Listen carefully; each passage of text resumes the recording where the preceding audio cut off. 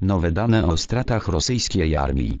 Wywiad wskazuje jej słabości sztab generalny. Straty Rosjan wyniosły około 14,4 tysięcy żołnierzy. Od początku inwazji na Ukrainę wojska rosyjskie straciły około 14,4 tysięcy żołnierzy, poinformował w sobotę rano na Facebooku Sztab Generalny Sił Zbrojnych Ukrainy. Dokładne obliczenia komplikuje duża intensywność działań wojennych.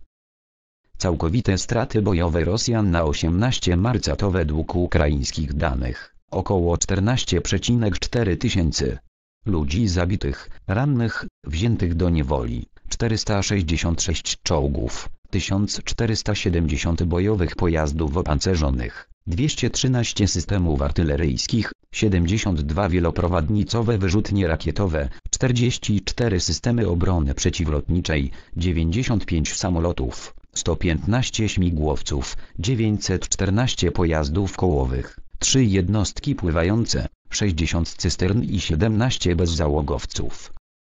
Jak zaznaczono, dane są doprecyzowywane, a dokładne obliczenia komplikuje duża intensywność działań wojennych.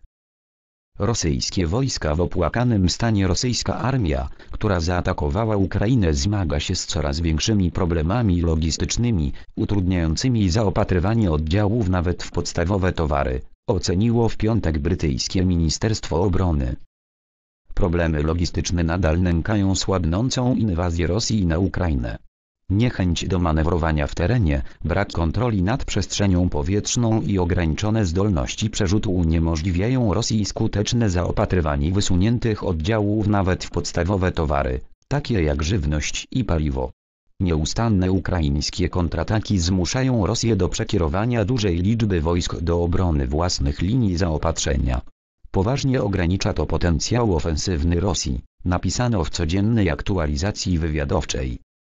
Jak dodano, rosyjskie wojska poczyniły minimalny postęp w tym tygodniu, a ukraiński opór uniemożliwia im otoczenie Kijowa i Mikołajowa. Ukraina upokarza Rosję Ukraina upokarza Rosję na polu walki, ocenił profesor Michael Clarke na antenie radia BBC 4. Rosjanie popełniają niemal wszystkie możliwe błędy taktyczne, podczas gdy Ukraina prowadzi działania na polu walki, w standardzie NATO, skomentował.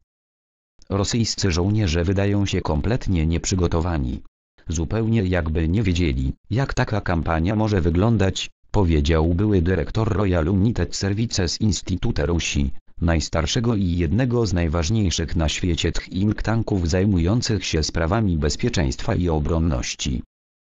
Ukraińcy stawiają opór rosyjskiej ofensywie na wszystkich frontach, a teraz prowadzą całkiem skuteczny kontratak. Rosjanie z kolei ponoszą duże straty w ludziach i sprzęcie wojskowym, podkreślił analityk.